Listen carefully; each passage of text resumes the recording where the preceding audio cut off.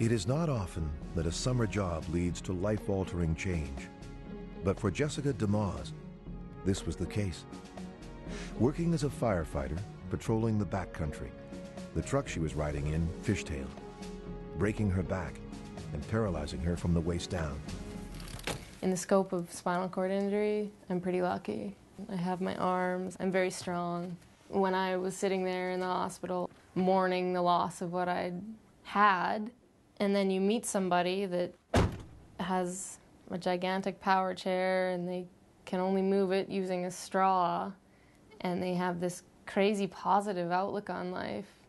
You see that and you think, what am I crying about? Like, nothing. So, smarten up. An accomplished athlete before the accident, not surprisingly, she channeled her energies into sports, both as part of her rehabilitation and as a way to give her life some semblance of normalcy. Sports played a huge role in my recovery. Definitely having the athlete's mindset of, let's just get on with this.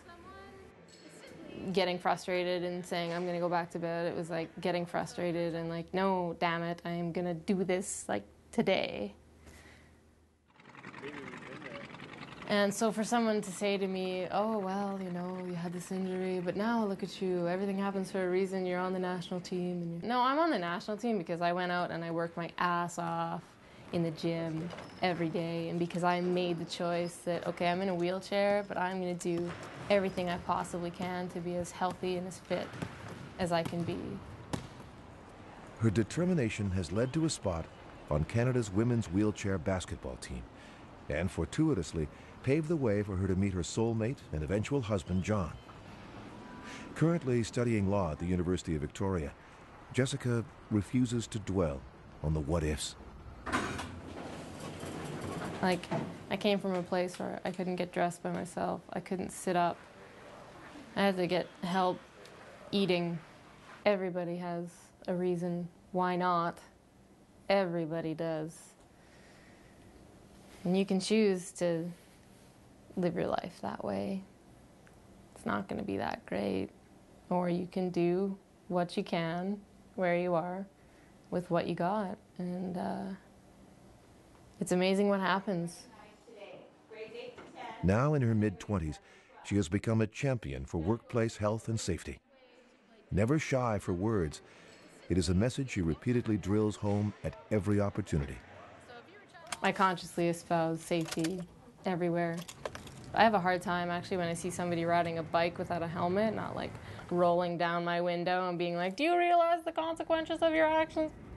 Embarrassed a few friends by actually getting like quite angry at them. I think, you know, I don't want to ruin my hair with a bike helmet.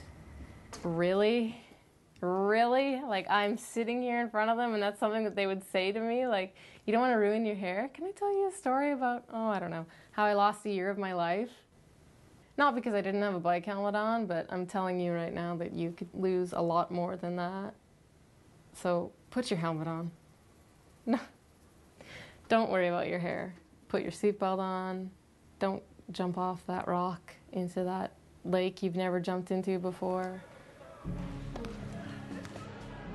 I know that a lot can be learned from my story and, and I try to and I do try to spread a message and it's about each of us has, has made a conscious decision to uh, do what we can with what we got where we are, and, and we're, we're carrying on and doing some pretty cool things in spite of all that stuff that happened.